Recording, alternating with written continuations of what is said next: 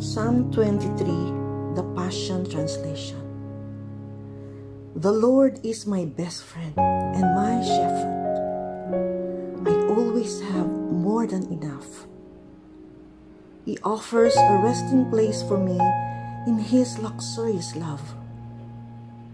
His tracks take me to an oasis of peace, the quiet brook of bliss.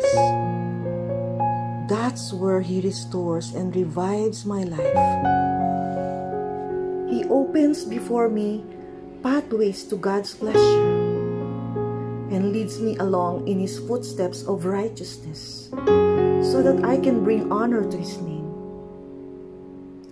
Lord, even when your path takes me through the valley of deepest darkness, fear will never conquer me for you already have. You remain close to me and lead me through it all the way. Your authority is my strength and my peace. The comfort of your love takes away my fear.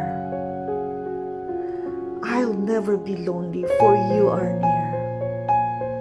You become my delicious feast even when my enemies dare to fight. You anoint me with the fragrance of your Holy Spirit. You give me all I can drink of you until my heart overflows. So why would I fear the future? For your goodness and love pursue me all the days of my life.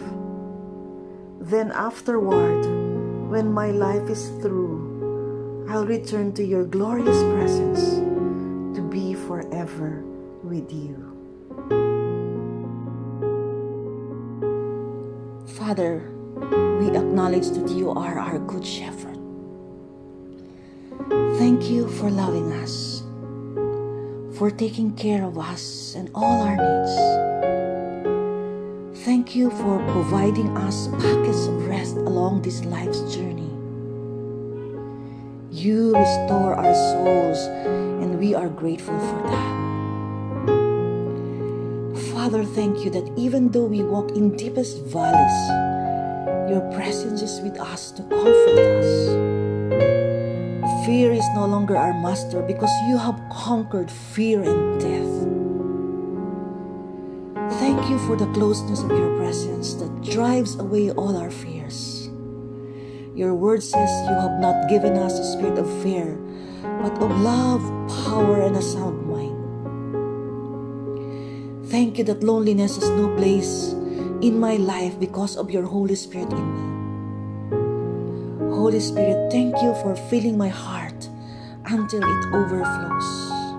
I have nothing to fear about my future because you are already there.